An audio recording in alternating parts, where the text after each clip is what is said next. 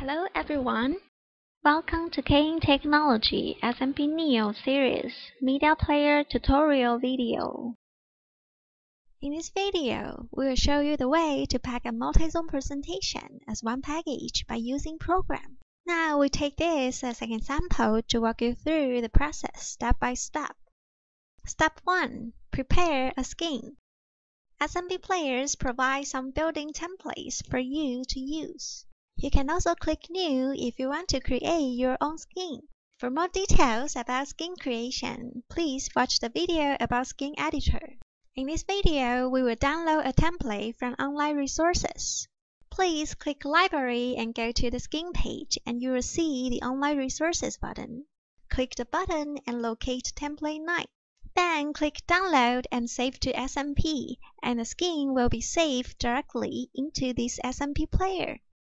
Step 2. Create a new program. Click New to create a program. Step 3. Select a skin. Locate the skin we just downloaded and click it. Please remember to prepare the skin in advance. Otherwise, you won't be able to select it here. Step 4. Complete configurations. After you select a skin, enter its program name and description. Then finish settings of each zone. You can see the bigger image of the skin in the middle. Please click the icon or click each zone directly to configure settings of each zone. First, image zones. In this sample, we will show a logo image stored in SMP's media folder in image 1. Click Edit Playlist and select those image files we want to show. Then click the tick button and the selected file will be listed in the table. After you complete all settings, click Save. For image 2, we will also show banner image stored in SMP's media folder. So please repeat the same steps we just mentioned and select the image files. You can also set transition effect to create a more dynamic presentation. Second, HTML and Flash zone. Then let's move on to the HTML and Flash zone. SMP supports six HTML and Flash sources. In this video, we will show Twitter's timeline. Please note that CAYIN does not save the data and the data come directly from Twitter. Therefore, the SMP player which connects to Twitter must be online all the time and has a stable broadband network connection. Now, enter your Twitter user ID. Select a template and enter the title and subject of Twitter timeline.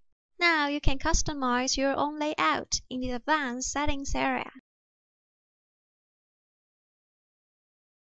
On the right-hand side, you can preview the timeline to make sure you get what you want. After you complete all settings, click Save. Stop 5. Start to play. Now you already complete all settings. Click Save to complete creating this program. You can also click Save and Play to create a program and play it at the same time. You can follow the steps we mentioned earlier to create many programs in advance.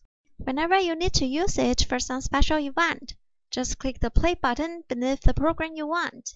Then SMP will apply the new template and multi-zone contents as a whole package and switch the presentation instantly. For detailed usage of all playback functions, please refer to SMP's online help.